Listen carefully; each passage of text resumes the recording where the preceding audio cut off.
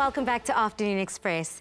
Now, at 17 years old, Upile took it upon herself to tell her own story on her own terms. Now, she gained mass acclaim for her writing on black womanhood, joy, healing, and of course, Africanness.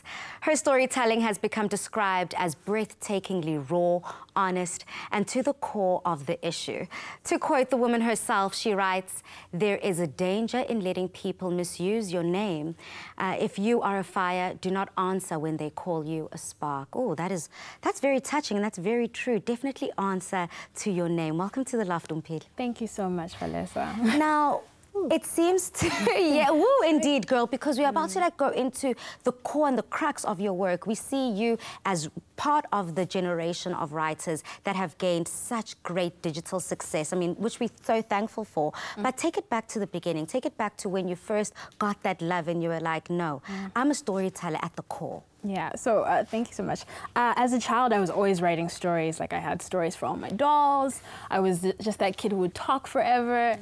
And then um, I would spent such a long time journaling and then eventually I realized um, like probably around 17 that writing is actually very therapeutic. Mm. so that was the first time I'd moved to the States and I started writing because I felt like being a black woman there was such an oddity you know coming from Malawi coming from my upbringing I realized that I can actually use this writing tool to heal myself a little bit and then it took a while to start sharing online though so but you when you did take that step and you did decide to write down mm. your own prose. I mean, you were saying that you just had troubles mm. in the way you were perceived, not only as a Malawian-born lady, mm. but as a woman too. And then you were like, uh-uh, it's important for me to kind of write my own path. Why so? Well, because I would sit in classes and I'd be the only person who looked like myself. Oh. So all the questions that were uh, toward that had something to do with Africa were always like towards me. It would be the answer, you know. Um, and the comments were just always so wild, and the questions. And I thought there was a lot of ignorance there, and there were a lot of people who were willing and interested in learning. And um, and I thought being a black woman is something worth celebrating. Why don't I just write it down? And then eventually I started sharing it because I was like yes, I feel like this today. Um, I feel very sad and low and feel like I'm an oddity to these people. Mm. And then I mm. write because I want to celebrate myself. But maybe someone else out there is also going through that. Absolutely. And that's kind of the process.